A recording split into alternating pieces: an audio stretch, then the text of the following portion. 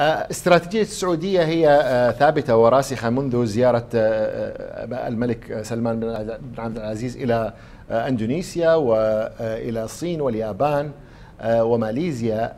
هناك مشاريع كبيرة جدا لأرامكو في أنشطة المصاب. في الدخول في التكرير وصناعة البتروكيماويات والمصافي. وهو وهي سياسة آه، ممتازة جدا لأنها آه، تزيد من هامش الربح بدل تصدير النفط الخام. معظم آه، النفط الخام السعودي يعني في العناوين الكبرى أن الصادرات ذهبت إلى الصين كذا ولكن ذهبت إلى مشاريع شراكة في كوريا الجنوبية وفي أندونيسيا وفي أماكن أخرى.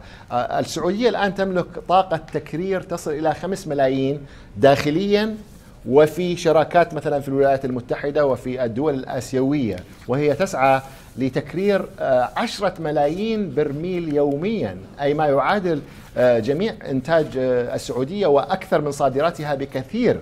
يعني ربما المشاريع التي دخلت فيها أرامكو في الخارج ستستهلك حتى نفط من خارج النفط السعودي لأن طاقتها قد تزيد على كل ما تصدره السعودية. أما بشأن الرسوم فكما قلنا من المستبعد أن تجد طريقها إلى أرض الواقع ولكن إذا وجدت طريقها إلى الواقع آه، فتؤثر بخارطة واسعة من التداخلات يعني كل أسعار الحديد والصلب والبتروكيماويات آه، التي ستفرض عليها رسوم ستحل محلها آه، صادرات أقل تكلفة من تلك المنتجات بعد وضع الرسوم عليها.